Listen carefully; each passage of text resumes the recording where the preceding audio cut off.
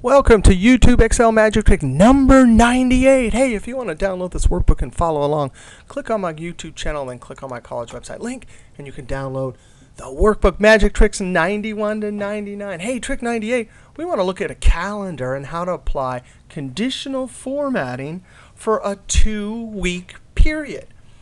Now, what we'd like to do is we have our, our serial dates here and then our list of things to do down in these cells. And we would like these highlighted when whatever date is here is a one week before today or one week after today. So we want a two week period highlighted.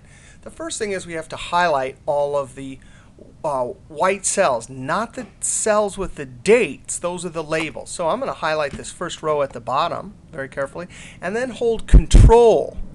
That'll allow us to highlight cells not right next to each other, called non-contiguous.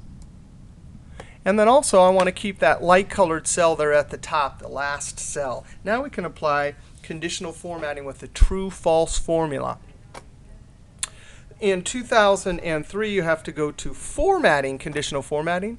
In 2007, you go to Home, Styles, Conditional Formatting. In all versions, the keyboard shortcut cut Alt-OD works. Then click New Rule and click Formula. In 2003, you have to click that first text box which says Is Formula. Now let's click down here. And here's our formula. It's going to be an AND. And this cell right here is the cell that we're starting in and copying it over and down. Notice this cell is looking one cell above.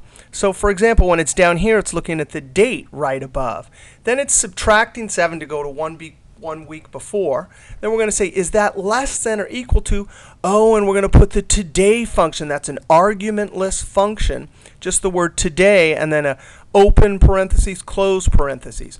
That's the first test. And then comma on the and, and we have the cell right above plus 7. So that's going one week into the future. And that has to be greater than or equal to today. Both of those things have to be true.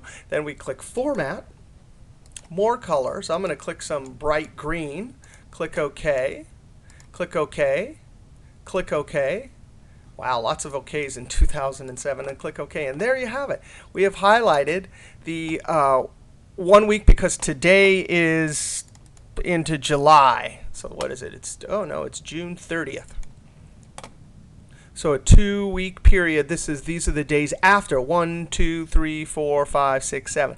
If I were to type uh, 7 slash 4 slash 2008 here, that would turn up green. If I typed 7 slash 15 slash 2008, that would not be green because it's too far into the future.